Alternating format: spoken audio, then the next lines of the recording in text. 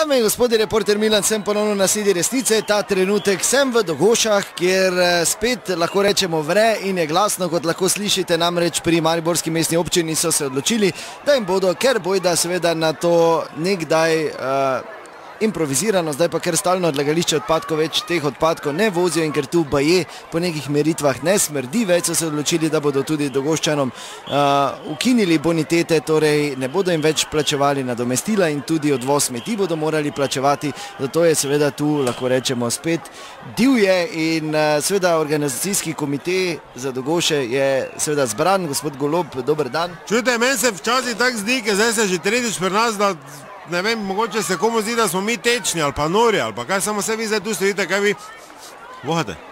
Ja, voham, ja. Čujte pa, vse mi nismo drugorazredni občani, no, pa kak, ve, kak ne smedi, pa kak več ne odlagajo. Čujte, če bi laž imela kratke noge, bi tudi po kolki hodili. Se pa te skozi vozijo, pa skozi meni, evo zdaj to kaj prevleklo, evo. In tako po valih. Ja, pa, uh, ja, res, zdaj pa res hudo. E, golob? Kaj, hele, veš, da se menim. Jaz bil za to, veš, za seko pa česen, sme za zajtrk. Dobro, kaj si smešalo, kaj si? Pa se vseeno, v glavnem smrdi, ti pa nehaj. Zelo, ja, in zdaj se seveda vi s to ukinitvijo ne strinjate. Zdaj se s vami, gledajte, mi moramo to dobiti. Mi nam, kaj smo mi zdaj tu? Jaz sem stokrat rekel, te pa nič, te pa ne nas beg vrže. Te pa ne nas tako na računalniku, ko označiš, pa daš koš, te pa nas beg fuknejo, pa ni več, gotovo fertik. Samo ne, nas ne bojo beg vrli, ker mi se ne damo. Mi nismo loleki.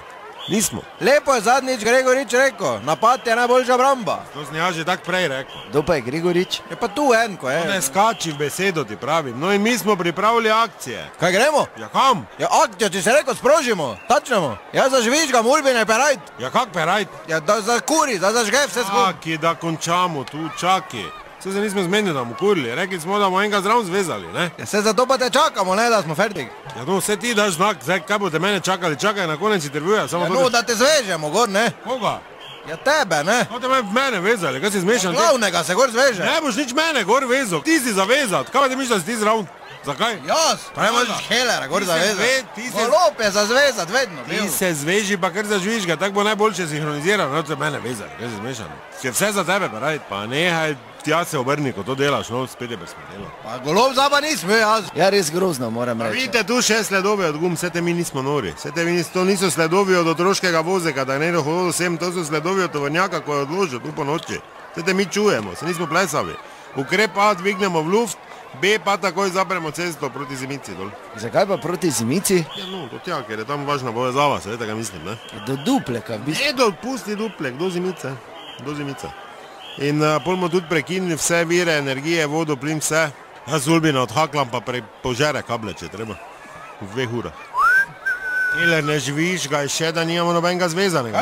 Ne žvižgaj, ne Pa davaj si znak. samo tak žvižgal. Davaj, veš, da Ulbin dobro čuje. Ne, si tak žvižga, veš, da Ulbin čuje še tisto, kaj ne bi rabo. Kaj si zmešan ti, da bo upalo vse skupaj. Dobro, skratka, vi boste tu en... Gremo na nož do konca, mi gremo na konca. Tudi mi nismo neki buti. Dobro, drage dame in gospodje, kako se bo to razpletlo, bo pokazal čas, do naslednjič ne pozabite, resnica ni plenica, pa vendar marsikomu smrdi. Ulbin odloži, ni še čaki.